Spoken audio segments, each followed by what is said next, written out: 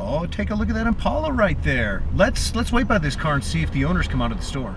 Hey guys, how's it going? Good morning. I, I take it this is your car here? Yes, yes, it is. It's beautiful. Thank you. It's, it's beautiful. Do you have a chance to let me check it out? Sure, go ahead. 1958 was the first year for the Impala. It was a huge gamble in styling after the popular 57 Chevy. Glitz, glamour, and chrome were now a priority. Sue's example is mint and has all the big options on a big car.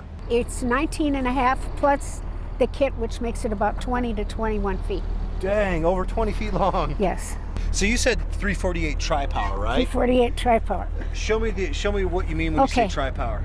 That's that's three two-barrel carburetors. As rare as this car is, Sue used to own one just like it and even raced it back in 1960. We used to go to the drag strip, and we did we did a little bit of work on this. Some work with my dad's Dremel, is as much as I could get to kind of smooth everything out. So That's you were doing do. some intake porting When I was- on the 58 Impala back in the day. Here you are now at this point in your life in your 70s, and you're back in a 58 Impala convertible.